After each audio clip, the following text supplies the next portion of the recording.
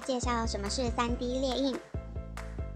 3D 列印是一种制造方法，那它相较于传统的制造方法的话，可以以更快的速度，那更低的价格，然后呢，很精准的去做出我们要的成品。那既然是制造方法的话，我们就要先来看这个产品开发的过程。一般来说，我们在进行产品开发的时候，第一个我们会有想法，然后开始呢有一个想法之后，我们就开始做设计。那这个设计，不管你是用手绘的，或者是呢用电脑绘图的方式来做，都是呢去做出一个设计的一个模型。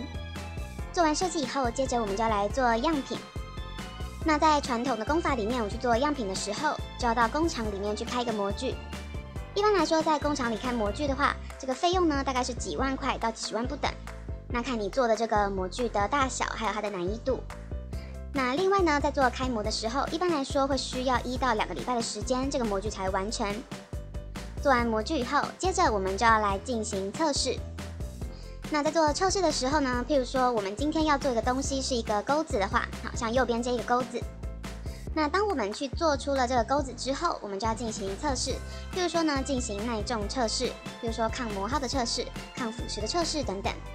假如说这个测试没有通过的话，譬如说，我们挂东西挂上去，那这钩就断掉了。好，这个时候我们就要去分析是哪个地方出了问题，是材料的问题还是设计上的问题。于是我们就要再回到设计的这个步骤，那重新设计了以后，接着再来做一次这个样品，那就是再开一次模具，再花一到两个礼拜的时间，然后去做等待的动作。接着呢进行测试，那如果顺利的话呢，可能呃几次的这个 cycle 下来，最后就可以做这个量产的动作。那为什么要最近嗯这个 3D 猎鹰为什么那么的火红呢？主要是因为假如说这个 3D 猎鹰的话呢，它可以去缩短模具开发的时间。好，为什么可以缩短模具开发的时间呢？是因为当我们在做一个 3D 猎鹰的时候，我们是直接的去制造出这样子的一个钩子。那可能呢可以用的材料呢有塑胶，或者是呢橡胶、细胶，那或者是呢可以用这个金属的方式来做等等。这个材料的话呢，已经有越来越多的新的材料可以用的材料出现。那这个时候呢，假如说我们要印出这个钩子，假设这个钩子呢，可能长度这个长度是十公分，那宽度呢可能是五公分的话，我们要印出这个钩子，以塑料就是塑胶来讲的话，印出这个钩子呢，大概是要花一到两个小时时间。那假如说你是用金属的话呢，可能再更久一点，或者是我们可以用树脂来印。好，那不管怎么样呢，可能一最长一天以内就可以完成这个钩子的印制。那与前面的这个我们去工厂里面去开一个模具相比，要一两个礼拜呢，它是可以大大的缩短这个模具开发的时间。好，再来 3D 列印的话，它还有一个优点就是可以小量生产。那当我们在做这工厂开模的时候，一般来说我们不可能一个模子里面，比如说我们开了一个模具，那这个模具呢可能一次就可以做一百个钩子，或者是呢五百个钩子等等。那这一件事呢，就是可以帮助工厂在制造过程当中呢，去减少这个成本。我们呢做一次呢，就可以有很多个产品出现。那但是当我们遇到了现在呢，有一个东西叫做克制化。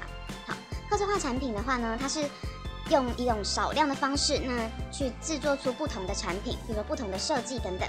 现在呢是比较要求克制化产品的时代，所以 3D 列印它呢就是可以用这个做这个刻字化的动作。你可以一次只印一个钩子，或者是呢一次只印二十个钩子等等。那你这个时候呢，就还可以再去改变你的设计，然后设计出不一样的产品，然后呢去做嗯比较少量的贩卖的动作。那接着呢，这个 3D 列印机的话呢，一般来说机器成本比较低。比较低的原因呢，是在譬如说桌面型的或者是家庭型的这个 3D 列印机的话，机器本身比较小台，那可以用的材料有限，但是也已经足够我们去做这个产品开发的动作。那这个机器的话呢，目前来说最低的价格可能一万以下，啊，我指的是台币，一万以下台币就可以买到这个机器。那比较越昂贵的机器，它的精准度越高，那当然它的成品出来的表面也会更精细。那这个呢就会比较贵，譬如说可能到一二十万、二三十万等等。好，那但是呢，跟工厂的一个大型的机台相比，一个呢就要动辄上百万来说的话呢三 D 列印机它的机器成本是比较低的。那最后呢，就是说 3D 列印机因为它可以成型的空间不大，好，譬如说呢，我们目前来说最普遍的就是大概，呃，长宽高是二十公分，二十公分乘以二十公分乘以二十公分的机器。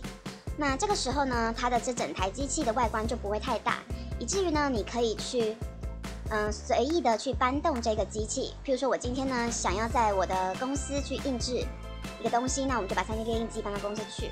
那假如说你今天想要在家里面去做一个产品的开发，那你也可以把 3D 列印机去移动到家里。甚至呢，这个 3D 列印机已经有人去做出了这种穿戴式的 3D 列印机。那我们来看一下这个影片。这个影片的话呢，它主要就是说有一个女生，那她背了一个 3D 列印机走在路上。好，你看这个 3D 列印机哦，在她背的过程当中，它一直都还是在印制的。所以呢，3D 列印机已经是一个很小，然后呢，很适合就是可以带，应该说可以适合带出门的一个机器了。好，那继续回到这个地方，接下来就要进入重头戏 3D 列印流程的介绍啦。那 3D 列印流程的话呢，主要分为三大步骤。第一步骤就是建立一个 3D 的模型。那第二步呢，就是进行切成转档的动作。好，这边呢前面没有提到，3D 列印它又称为基层制造，意思就是说它是一层一层的堆叠上去，然后呢制作出一个成品。好，就是呢我们用一个 2D 平面的方式。那我们把一个 3D 的模型图档呢，把它切一层一层的。那一层一层完之后呢，我们就可以去设定它这个材料要怎么样去沿着某一种路径做挤出的动作，或者是固化的动作。所以这个时候我们就需要用到切层软体，那去把一个 3D 模型呢转成一个 2D 的加工路径。好，这个时候呢，我们把这个档案存起来，加工档案存起来以后呢。就可以把它连接到 3D 列印机去做列印的动作。那列印完以后，就可以出现我们的成品。那我们以下就详细的稍微来介绍一下怎么样做 3D 建模的部分。3D 建模的方法呢，主要有 3D 绘图、3D 扫描，或者是你可以直接下载 3D 档案。那 3D 绘图的部分的话呢，我们常用的这个软体，以我来说的话，就是用 Mastercam。那不过这是一个工业级的一个软体，而且还是要付费的。所以一般人呢可以使用，譬如说 AutoCAD，那或者是呢 Autodesk，它有出一个 Fusion 三六零这个软体。那这些软体的话呢，它是免费的，而且呢它也功能性非常的多呢，非常好用。所以假如说呢你一开始想要做设计的话，不需要马上就花钱去购买一个绘图软体，你可以呢先用一些免费软体，然后自己试着画画看。接着呢，我们可以到这个 3D 扫描的部分。好，假如说我们有一台 3D 扫描机。或者是呢，现在手机也可以做这个 3D 扫描的部分。那我们对准一个物体进行扫描以后，这个档案呢去存成一个 3D 的档案，之后呢就可以转进切片软体面，然后做列印的动作。那最后呢是下载 3D 档案。现在呢已经有非常多种档案库，比如说呢 Thingiverse 就是一个全球很大的一个档案库。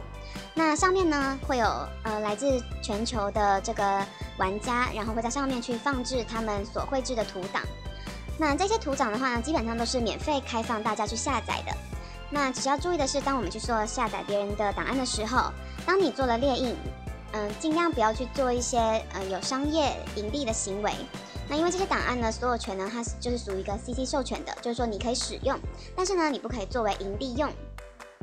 那除了这个 Thingiverse 网站以外呢，中文的网站的话，也有像是嗯打印啦，或者是打印吧之类的这一些网站。那上面呢也有各式各样的图档，或者是甚至你可以去请人帮你绘制一个 3D 图档。那你可以去搜寻这一些呃网站。假如说你不会做这个 3D 绘图的话，那也没有办法做 3D 扫描。那一开始不会建模，就可以从这个方法开始下手。建模完了以后呢，我们就要开始来做切层的动作。那我们前面有提到，就是 3D 列印呢，它是一个基层的制造。好，就是说，当我们去做一个建模完成之后，那我们就把这个图形呢，去一层一层的切开，然后呢，用这个切片软体去设计它的加工路径。那设计完了以后，把这个档案丢到 3D 列印机里面，它就会一层一层的做列印。那切层软体的话呢，最常被大家使用的就是叫做 Cura，或者是呢 Kisslicer。来箱啊，或者是 Simplify 3D。那当然，免费的呢，它的功能会比较阳春一点；那付费的呢，就会比较好。但是呢，Cura 跟 Kisslicer 呢，他们都一直有在做更新，然后他们的功能呢，已经有越来越好的趋势了。所以大家不妨从这个免费版的开始入手。那最后呢，就是进行列印的部分啊。那列印机的话，其实难度就在于说，你去调教这个列印机，那怎么样把它调到平衡，那调到这个 X、Y、Z 轴都是呃非常良好的状态。那接着呢，我们就要把记忆卡或者是呢连接线插上去，然后呢按电印，它就会开始做电印了。所以对我来说，我觉得电印这个步骤呢，算是里面比较简单的部分。比较难的是前面做这个建模，然后还有切片的这个部分。那现在就来给大家看一下平常我用的建模软体，它的界面长什么样子。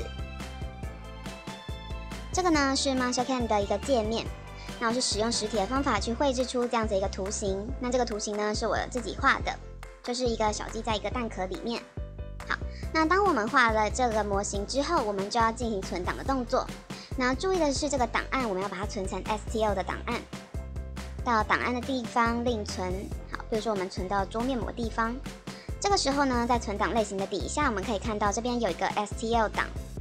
那 3D 列印机一般来说都是吃 STL 档的，当然现在可能还有其他的档案，譬如说像 OBJ 档案或者是 MF 等等。